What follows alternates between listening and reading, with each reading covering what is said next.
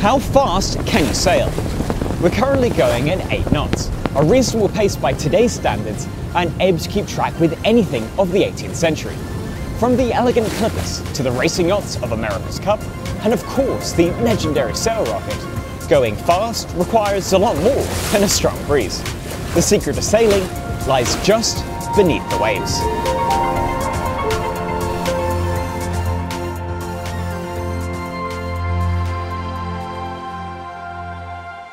People have always needed good, fast ships. But it took Victorian England's obsession with high value, time sensitive goods, specifically tea, to create a new breed known as the Clipper. This is the Cutty Sark, today housed at the Royal Museums, Greenwich. Launched in 1869, she strikes an ideal balance between high thrust and low drag. Thrust is due to the wind blowing on the sails. It starts high, but reduces down to zero once we match wind speed. Meanwhile, drag starts at zero, but increases exponentially the faster we get. The point to which those two forces balance is known as your top speed. For thrust, the Cutty Sark used 3,000 square meters of cloth spread across 32 sails, producing an equivalent of 3,000 horsepower of thrust. There were two main types of drag that her builders were concerned about. Skin drag is due to water as it moves over the hull. A rougher surface, due to the growth of barnacles, would mean more drag so growth was reduced by using a copper sheathing around the hull, which is toxic to marine life. Even so, sailors still had to regularly scrub her smooth. The other thing we needed to be concerned about was form drag, how the water flows around the entire shape. At the bow, where the seas are parted, we have high pressure, while at the stern, where they swoosh back together, we have low pressure. At the end result, it's effectively sucking our ship backwards. To streamline the ship by making it smoother means that we have less drag, but also comes at the cost of cargo space, which is why most ships are never quite as pointy as the Cutty Sark. Initially, she was intended for the China-London tea trade, but really hit her stride when she was sent south to Australia to bring passengers and wool to and from Sydney. Here, she met the high-speed winds of the Roaring Forties, a particularly blustery set of conditions with 35 knot plus winds, brought about due to the spin of the Earth and the lack of any sort of land masses to slow her down. Normal ships can't survive in these conditions, but the Cutty Sark uses a unique composite hull made of both wood and steel. Her captain hoped this would allow her to survive and reach some insane speeds in these rough conditions. And she did 15, 16, 17 knots. And then, far out to sea, she reached something rather unexpected a speed limit. Every ship creates waves, and the Cutty Sark was no exception. As she surged forward, a bow wave formed, a crest that clung to her prow and rippled along the hull. Unlike light or sound, where speed is independent of wavelength, in water, longer waves travel faster than shorter ones. This meant that as the Cutty Sark gained speed, the wave and its ripples were forced to lengthen, faster and faster, longer and longer, until wavelength match the ship's waterline. This is hull speed. Push harder and the wave stretches even more, but now the ship sinks into a deepening trough. Going faster still means climbing your own bow wave, with a slope that only increases with speed. Even with massive sails and strong winds, there simply wasn't enough force to lift the Cutty Sark out of that trough. And there she stayed, maxing out at 17.5 knots. In an unfortunate twist of fate, just as the Cutty Sark was being commissioned, a 7,000 kilometre shortcut in the form of the Suez Canal was just being opened up. Since only steam-powered vessels could navigate it, mostly without getting stuck, this made wind-powered sailing vessels redundant, basically overnight. The quest for a faster wind-powered ship was passed from the merchant navy to the yacht clubs of Britain and the Americas. A traditional square-rigged ship like the Cutty Sark works by catching the wind and then being pulled along by it. It works best when we're moving in the same direction as the wind and your max speed is wind speed. That approach has mostly been abandoned by modern racing yachts, instead opting for a fore and aft pattern with triangular sails. These instead work by redirecting the wind and result in a net force that's a little forward and a little to the side. If that was all we had, then the ship would just be dragged along at a bit of an angle, but instead we have a special piece of kit known as a keel located directly beneath the waves. That makes things a bit more interesting. It works a bit like my outstretched palm. If I move from side to side, then there's a lot of resistance to this motion, effectively cutting out the sideways component of our force. Meanwhile, if I move forward and back, then there's almost no resistance. The net result is as if we put our boat onto wheels. Thanks to the keel's sideways resistance, rather than just running with the wind, now we could also sail at a bit of an angle. We're still moving downwind, but also slightly across it, increasing the true speed. Angle further, and we can go even faster. Unfortunately, with more of a sideways component, there was a chance the ship would be pushed over and capsize, counteractable with a restorative torque in the form of either adding more ballast to the hull or by shifting the crew to the windward side. Neither of these solutions were ideal though.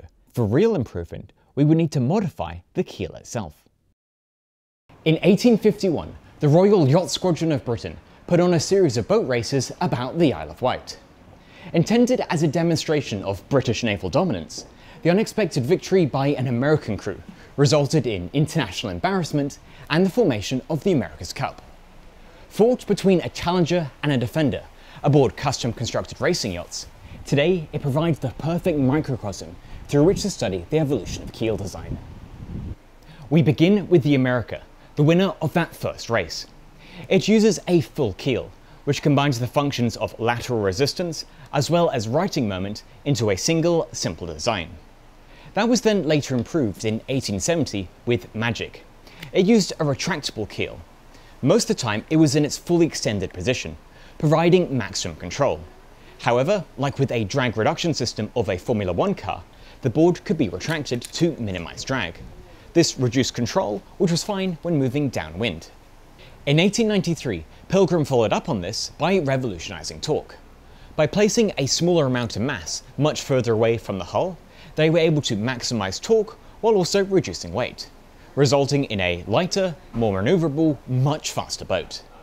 Desperate to hold on to the cup, but out of engineering ideas, in 1903, designer Daniel Herreshoff decided that the only way forward was to cheat. As we saw with the Sark, a ship's top speed is ultimately limited by its waterline length, the hull speed limit.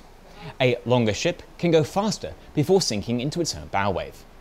Race directors knew this and had long since implemented length restrictions, measured as the waterline at rest. It was limited to 27 metres. With this in mind, Herreshoff created the Reliance. At rest, sure, its waterline was 27 metres, but then when it heeled over, this would increase to 40. Hull speed was boosted from 7 knots to 8.5, blitzing the competition, who ended up giving up about halfway through the race. Even with these loopholes closed and the apparent lack of any new design innovations, the Americans kept on winning. And then, in 1983, came Ben Lexcen and the Australia 2. When water flows over an object, it forms vortices, which drag it backwards. Ben realized that by adding in winglets, he was able to disrupt this vortex formation, reducing drag. Simultaneously, they also provided a slight righting torque without the usual mass penalty. The design proved to be superior. After 132 years, a challenger had won the America's Cup, and keel design would be changed forever. With the advent of wing-inspired design, engineers returned to that ultimate speed barrier. It turns out you don't need to worry about hull speed if you don't have a hull. This is a hydrofoil. A wing allows me to rise above the waves, briefly.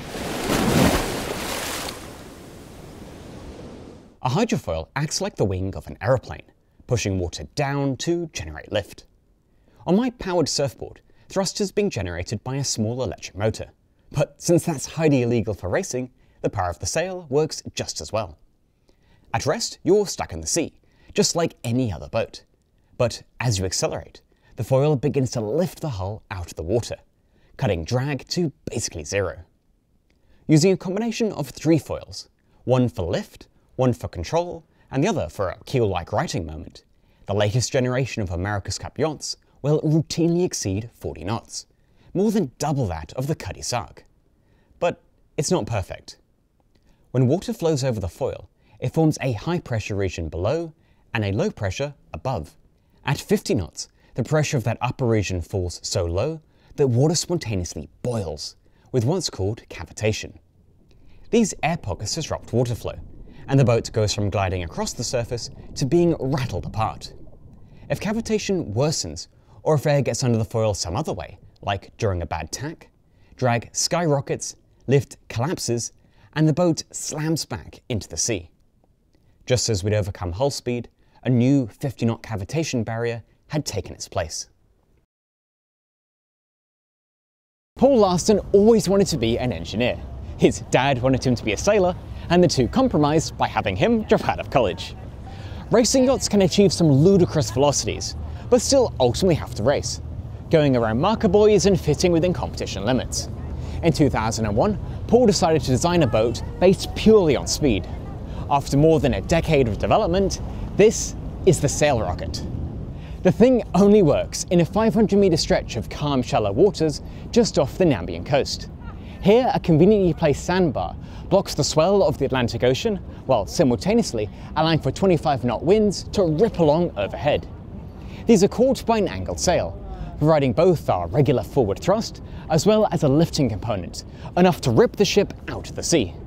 On the other side we have a hydrofoil which counteracts this. Unlike those of the America's Cup, this hydrofoil provides a downward force, enough to pin the ship in place. In addition to a crew capsule in the middle, the entire thing mostly balances. Even with this minimalist design, the ship would still be limited by the 51 knot cavitation barrier.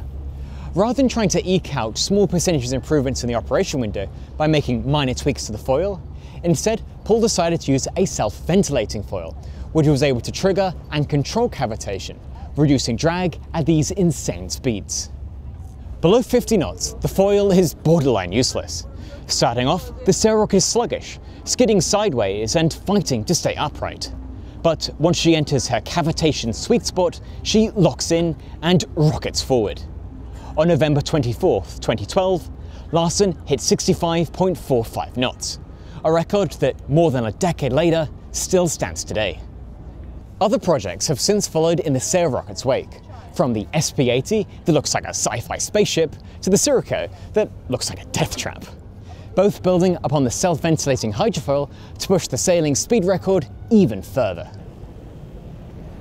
For a time, going fast required nothing but a good crew, pointy ship, and a willingness to nearly die in the roaring 40s.